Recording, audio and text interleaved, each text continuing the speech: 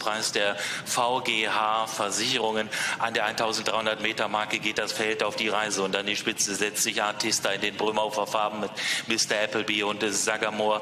Dahinter folgt auch an der Innenseite Evangelista. So galoppiert das Feld am Übergang vorbei und gleich auf den Schlussbogen zu. An der Innenseite ist unverändert Artista in vorderster Linie mit Mr. Appleby und ganz an der Außenseite Anatia. Drei Pferde in Linien. Dann sieht man gut ein mit Sagamore. Ganz an der Innenseite ist auch Evangelista mit dabei.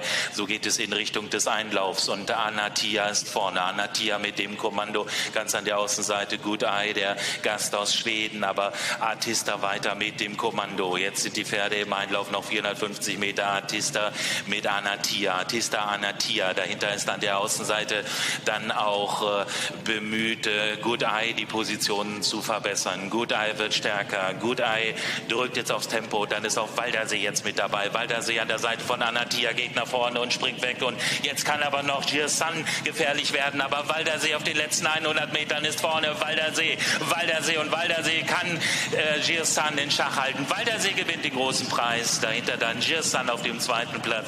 Drittes Pferd ist dann Anatia vor Good Eye und dem Rest.